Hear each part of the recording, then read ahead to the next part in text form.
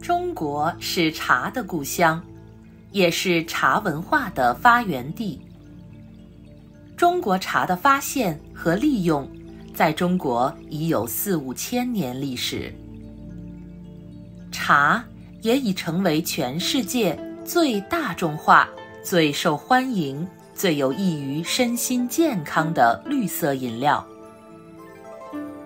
中国开始饮茶，大体上开始于汉朝，盛行于唐朝。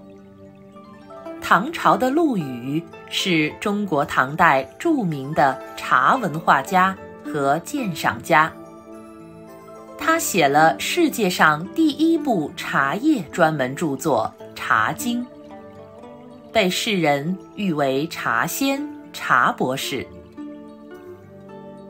中国的茶有很多种，基本分类有红茶、绿茶、黑茶、白茶。乌龙茶、黄茶和花茶，而茶叶的种类更是多得数不胜数。比如说，我们生活中最熟悉的西湖龙井、洞庭碧螺春、黄山毛峰、安溪铁观音等。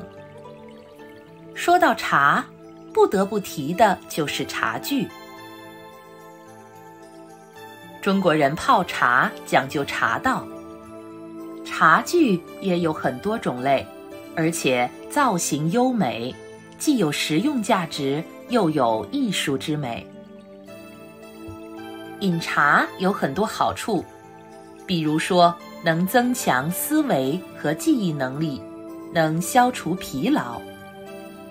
茶叶里还含有不少对人体有益的微量元素，能使人延年益寿。饮茶还能增强运动能力，有良好的减肥和美容效果。今天你喝茶了吗？